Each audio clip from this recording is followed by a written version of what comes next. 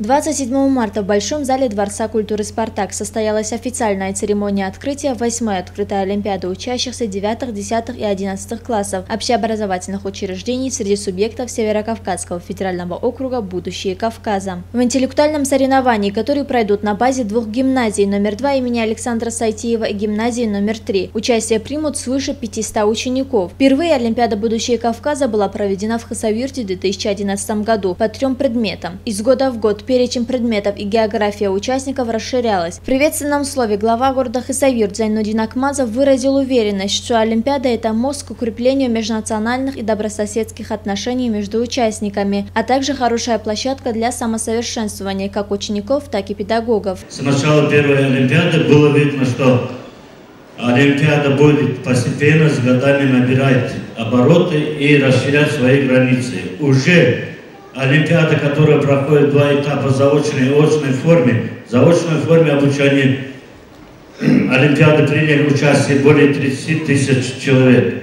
И продолжается поступать заявки на участие в Олимпиаде. Я хочу вам сделать еще одно объявление, хотя многие об этом знают. В прошлом, 2017 году, наша Олимпиада включена во Всероссийский реестр Олимпиад Отчетными гостями мероприятия стали представители городской мэрии, депутаты Народного собрания Республики Дагестан, кандидат физико-математических наук города Москва Александр Рубин, заместитель директора по научно-методической работе лицея номер один города Назрань, заместитель министра образования и науки Республики Дагестан Назир Магомедов, заместитель министра образования и науки Чеченской Республики Рамзан Шарипов. Александр Рубин в своем выступлении высоко оценил вклад города в общее развитие образования республики, продолжил, что только через такие такие конкурсы и мероприятия наша молодежь взаимодействует друг с другом. Отрадно понимать, что такой весомый вклад в развитие образования вносит Хасавюрт. Это ежегодная Олимпиада – огромный успех, отметил Рубин.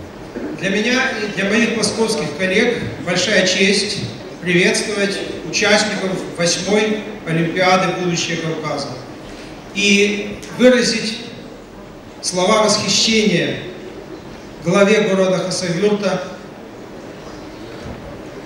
Акмазову Зайнудину Дадабеговичу и начальнику управления образования Ибрагимову Руслану Марлановичу за организацию этой уникальной Олимпиады.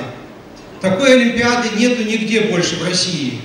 И очень важно для ребят, которые проявляют способности к различным предметам, учебным, и для них важно не просто выяснить, кто более сильный математик, биолог, для них очень важно оказаться вместе, собраться, пообщаться, установить какие-то контакты на будущее. Тем более, что современные средства электроники позволяют потом общаться успешно в интернете.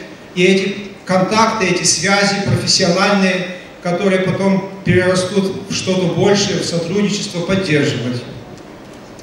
И я уверен, что э, количество участников этой Олимпиады, динамику вы видите, с каждым годом будет становиться все больше и больше. И, наверное, как и к хорошему любому мероприятию, будут присоединяться другие регионы, ну, на правах гостей, и, наверное, вы их тоже примете, и с ними тоже сможете пообщаться. Итоги Олимпиады будут подведены 29 марта. В этот же день пройдет торжественная церемония награждения победителей и призеров.